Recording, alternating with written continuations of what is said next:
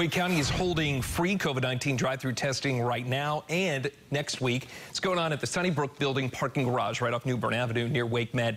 It's going on Monday and Tuesday. Thursday, Friday, and Saturday, all from 9 in the morning till 3 in the afternoon. And you do need to register first.